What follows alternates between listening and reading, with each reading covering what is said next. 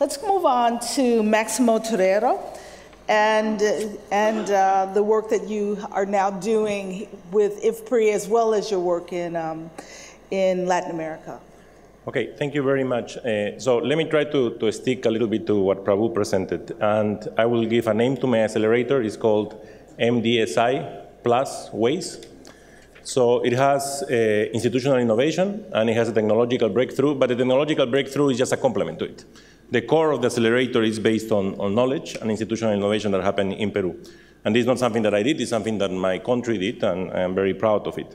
So Peru uh, simulated, uh, developed this system which is called multisectoral demand and supply and incentive-based approach, which basically stimulated the demand for health and nutrition services among the poor, increased the coverage and quality of services, and improved nutrition-related budgetary planning and results monitoring. That's the part that we call Waze, which is a real-time monitoring innovation that Peru did, which included, of course, also impact evaluation, but it's real-time, and that's, that's the innovation. What was the result of this uh, accelerator? It was that the Peru more than half the malnutrition among children under five, from 28% in 2008 to 13.1% in 2016. So let me explain a little bit this accelerator and how it was motivated.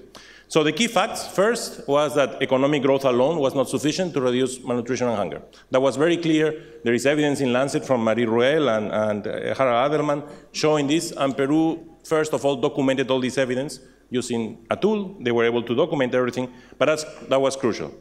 The second element was that they documented also the evidence that malnutrition can cause permanent damage to brain of the kids and of course will affect the future generations, affecting around 40% of the knowledge capability of, of, kids. So again, there were solid key facts of evidence that Peru used to do that.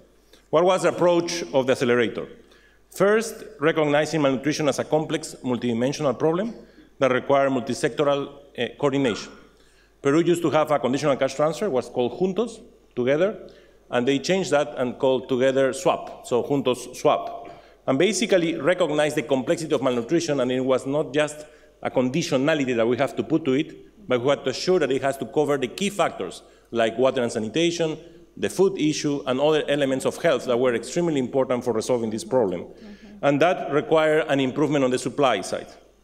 The second element of this approach was evidence-based. So it was evidence based on best practices. We learn of experiences in other countries and trying to figure out how we can be as effective as possible in this multisectoral approach. We also bring evidence on cost of economic malnutrition. That was crucial to create the linkage, and that's a huge innovation with the Ministry of Finance.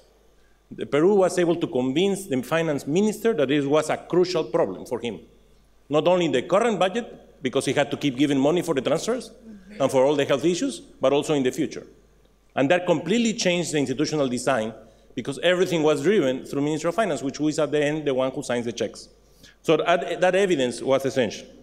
And, and, the third element was demand and supply. It was not only an issue of increasing the demand of the juntos to kids under 12 months, and especially in the, in the, in the age cohort, which was crucial, but also to have the supply. Not only the conditionality, but that the supply existed. How I can put a conditionality if the supply was not there. And the final element, which was linked to finance, was cost effectiveness. That means that we have to link this to budget by results.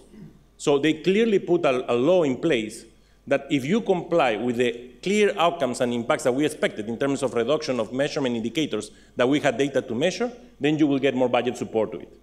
So the budget was functional to the performance indicators that they have to comply. What were the results uh, of these uh, four elements of the accelerator? So let me repeat them. Recognition of the multi-complexity of, of, of malnutrition, evidence-based, evidence on best practices, and evidence on economic costs, demand and supply approach, and the cost effectiveness.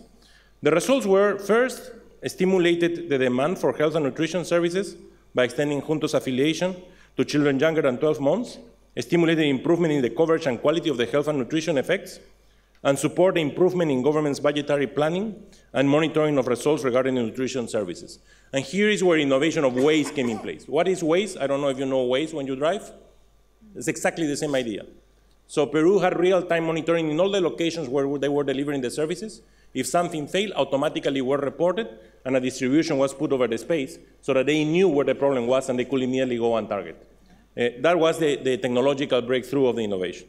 The impact, as I mentioned before, we were finally able to reduce undernutrition from 30.1% to 13.1% from 28% in a period of uh, eight years, which was very different to the status quo that we had in a bigger period, where basically it even increased in the case of Peru. Thank you very much.